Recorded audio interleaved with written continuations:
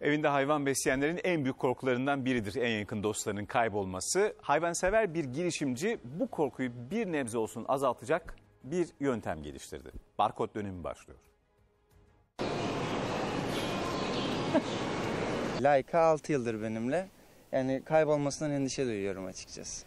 Evcil hayvan besleyenlerin en büyük korkularından biri minik dostlarını kaybetmek. Haksız da sayılmazlar. Çünkü internet siteleri kayıp hayvan ilanlarıyla doldu. Bir kere Maçka Parkı'nda birbirimizi kaybettik. O da çok telaşlı bir vaziyette gördüm onu.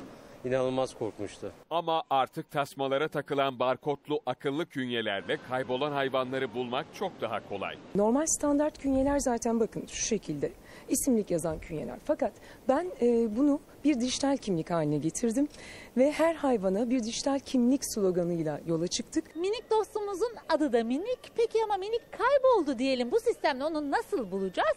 Bulduk miniyi sokakta. Hemen QR kodumuzu okuttuğunuz anda QR kodu direkt sahibine SMS bildirimi gider. O anki lokasyon gider bulunduğu andaki.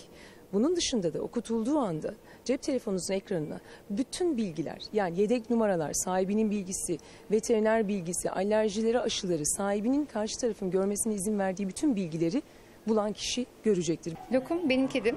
İşe de getiriyorum onu. Kaybolcukta endişelendiğim için de bu sistem çok iyi oldu bence. Şarj etmenize gerek yok, pil derdi yok. Ömür boyu da bir database sağlıyorum ve İngilizce ve Türkçe olmak üzere iki farklı dilde. program